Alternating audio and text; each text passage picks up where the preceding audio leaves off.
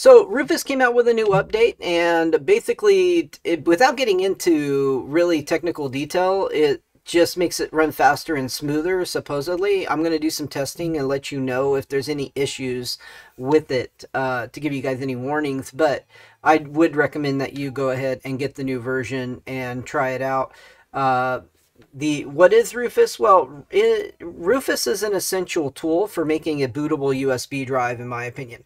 You can make a bootable drive for any Linux distro, pretty much that you want, Android or pfSense if you're making a home router, OPNsense. You can uh, also make a bootable uh, USB drive for some uh, NAS OSs as well as different Windows uh, OSs depending on what Windows you want to install, whether you're installing LTSC or whether you're installing Home Pro, uh, whether you're installing a server, Windows OS, etc., etc.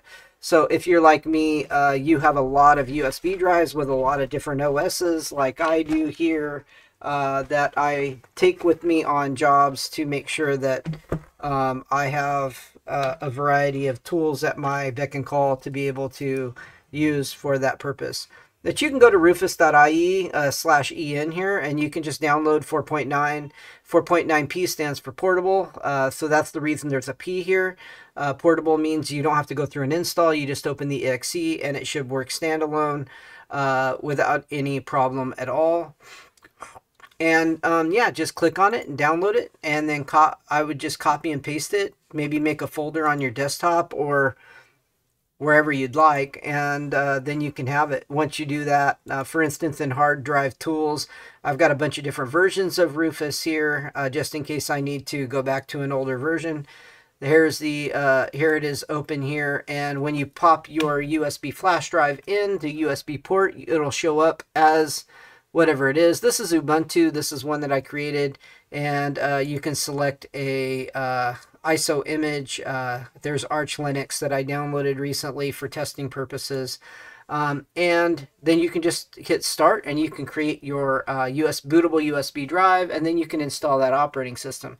There's a variety of, of uh, ISO images out there that you can get uh, for all types of different things.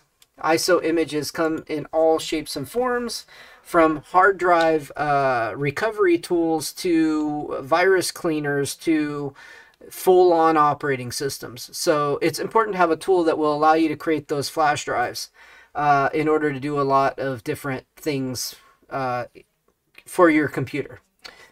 That's it. Um, if this information was useful to you, please leave a thumbs up. If it uh, if it wasn't, let me know down below what you didn't like about it. If you think Rufus is horrible and there's something better out there, uh, let me know also. And I'm more than willing to hear everybody's opinion and tell me about new and different tools that I don't know about because none of us know everything and we can all learn from each other.